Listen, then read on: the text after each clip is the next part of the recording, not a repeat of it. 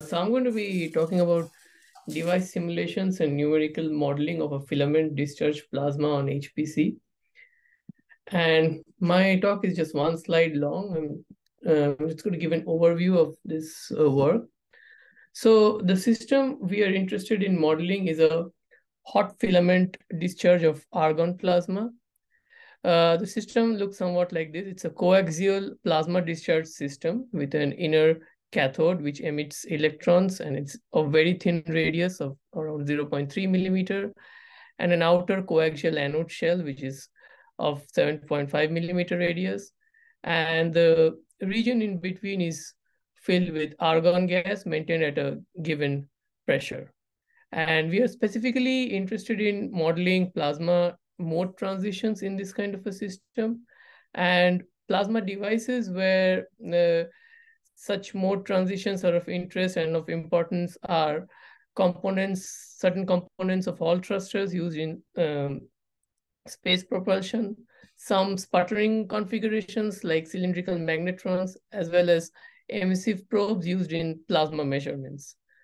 And the and we make a reasonable uh, assumption of azimuthal symmetry and uniformity as well as axial uniformity and use an axis symmetric that is radial 1D 3V electrostatic particle in cell code with Monte Carlo collisions.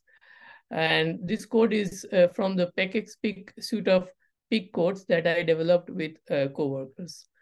And uh, on, on NERSC, uh, so it's a HPC performance, it's a hybrid GPU CPU parallelized Fortran code with OpenMP for the CPU parallelization or OpenACC for the GPU parallelization. And in NERSC, it runs on one GPU node of Perlmutter and utilizes around 20 CPU cores and one GPU. And in the simulation, in this device simulation, we are actually operating this device in, in a low energy depo deposition condition that what it means is that we maintain a low electron injection current, the radial injection of the electrons, and also maintain a, a, voltage bias that is just a little higher than the ionization voltage needed for the argon. And uh, in, in these low energy deposition conditions, instead of getting one uh, mm, plasma form, forming, we actually get two plasmas in one in the upstream region, which is the plasma two, and one in the downstream region, which is a plasma one. And what we find is that uh, uh, the two plasmas, they are actually coupled through multiple uh, collisional and collisionless processes. And that leads to interesting mode transitions, wherein either the plasma 1 and plasma 2 aid each other's growth and they mutually approach each other. The plasma 1 moves upstream and the uh, plasma 2 moves downstream, or they compete for space where one expands and the other recedes. And we are specifically trying to model this couple system and the mode transition it produces. A short overview of how the two plasmas form. So you have the cathode uh, electrons emitting uh, emitted from the cathode, which ionize this argon background and produce this, this conventional plasma two. And there's a less conventional plasma that forms in this region, which is uh, formed by uh, like you have uh, argon ions which are coming from this plasma strew. They move downstream. And in this region where there is electron space charge uh, some of these argon ions they uh, perform charge exchange collisions with the background. And as a result from low energy ions and these ions get trapped in the potential well of, of this space charge and that forms this another quasi-neutral plasma, which is the uh, plasma one. And so we performed sets of simulations of this system with various parameters and using that simulation data, we uh, formulated a, a sorry, a predictive mathematical model for this coupled system in the form of coupled partial differential equations. And for example, uh, uh, one of the variables in this in the system is this radial extent RV of this plasma one. So it would be somewhere here.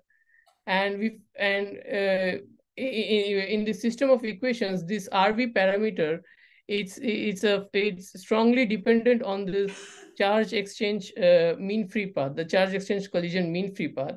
And uh, this is a solution where, uh, where we plot this RV parameter as a function of uh, the mean the mean free path of charge exchange, which is uh, and which is plotted here. So here the red lines means uh, a, a longer mean free path so more uh, less charge exchange and the blue lines means uh, a shorter mean free path that is uh, more uh, uh, that is more charge exchange. And as as as we see that when when there are more collisions, uh, this RV parameter grows faster. And next we use simula simulation sets. We wanted to validate this model. So we again use the simulations to validate the model and uh, uh, we basically artificially enhanced or decreased the charge exchange uh, collision cross section using a similar parameter called f. And we found that this this simulation and uh, and the theory have uh, and the model that we developed have good uh, qualitative agreement there are some quantitative differences and and the differences are also well understood in terms of effects which the sim which are included in the simulation but are not quite uh, included in the in the theoretical model.